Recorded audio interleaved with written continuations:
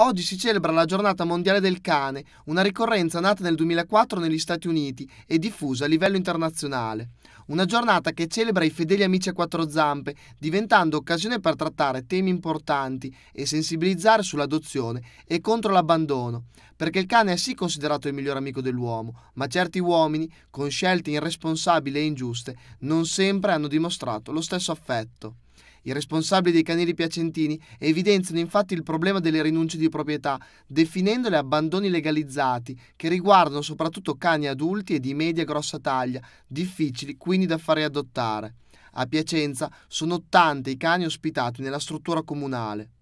Invitiamo tutti eh, ad aumentare ancora di più rispetto a quanto già non sia la sensibilità nei confronti delle adozioni nei canili e ringraziamo tutte le persone che ogni giorno vengono ad adottare i cani, non si fermano davanti al fatto che magari abbiamo cani adulti o cani anche impegnativi, ma um, arrivano a cuore aperto e um, sono felici di conoscere il cane, di farsi consigliare e di introdurre uh, un nuovo membro della famiglia. Ricordiamo che per noi tutti i cani sono degli individui dotati di sentimenti e di sensibilità, quindi è come se fosse una giornata dedicata proprio a, a un familiare. Al canile di Montebolzone nel comune di Agazzano sono 106 i cani ospitati in struttura che non vedono l'ora di abbracciare nuovi proprietari. Ormai gli abbandoni non sono più estivi, ma ci sono tutti gli anni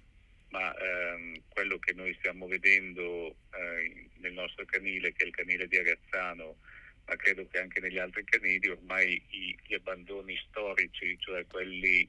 ehm, dove venivano abbandonati cani di fianco alla strada, non esistono più, ma esistono quelli che noi chiamiamo gli abbandoni legalizzati, cioè